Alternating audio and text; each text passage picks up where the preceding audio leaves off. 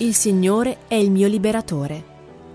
Il Signore è la mia rocca, la mia fortezza, il mio liberatore, il mio Dio, la mia rupe, il mio scudo, il mio potente salvatore, il mio alto rifugio. Salmo 18.2 Davide conosceva il Signore come il suo liberatore. Il titolo del Salmo fa riferimento a quando il Signore lo liberò dalla mano di Saul. La libertà è un desiderio profondo di ogni essere umano. Ma cos'è la vera libertà? La libertà di fare tutto quello che voglio? Ma se quello che voglio è abusare di alcol o di altre sostanze, giocare d'azzardo, immergermi nella pornografia o in qualcos'altro, così facendo sono libero o divento schiavo di una dipendenza? Dov'è la libertà in questo caso?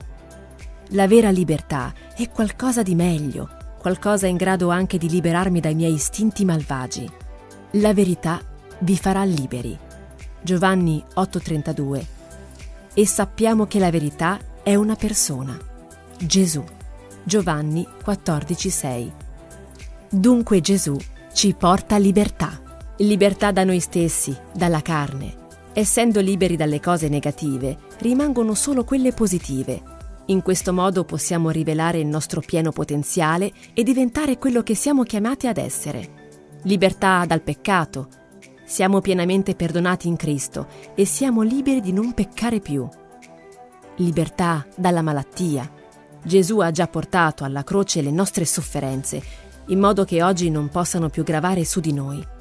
Isaia 53:4. Libertà dalla paura, dal giudizio altrui, da quello che ci affligge libertà dalle nostre battaglie, perché abbiamo già la vittoria. Di cosa hai bisogno per essere liberato oggi? Cosa ti trattiene dal dispiegare le ali ed entrare pienamente nel tuo destino? Qualsiasi cosa sia, la soluzione è nel Signore, il tuo liberatore. Con Dio, il liberatore, sei pienamente libero. Grazie di esistere. Emmanuel Go.